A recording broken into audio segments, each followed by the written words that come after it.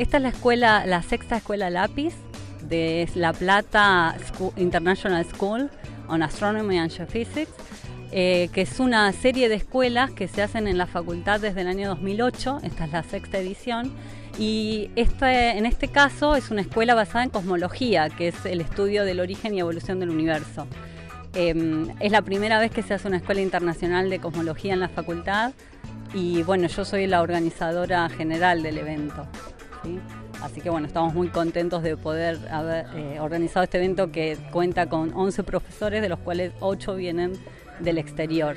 Yo en esta clase que voy a dar ahora voy a eh, conversar y explicar los métodos estadísticos que se usan para inferir de los datos observacionales eh,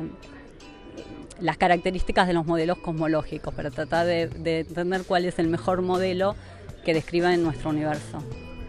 Bueno, la universidad y en particular la facultad ha apoyado estas iniciativas a través de,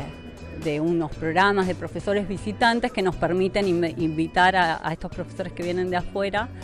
eh, para que el nivel académico de la formación de posgrado, que esta es una escuela de posgrado, eh, sea de, de, nivel internacional, con lo cual el aporte de la universidad y de la facultad es fundamental para la organización de estas, de estas escuelas. Yo creo que eh, levantan el nivel académico de la universidad y de la facultad. Em, y yo estoy en particular estoy hablando de cómo medir, aprender sobre el universo eh, usando lo que se llaman, a ver, en español se llaman bosques del Liman Alfa, no me acuerdo, no sé, no sé qué se llama. Son son muchas, muchas líneas de absorción que se observan en objetos que son muy, muy lejanos y, con eso se puede hacer un mapa del universo y, de ahí se puede sacar información de cómo evoluciona el universo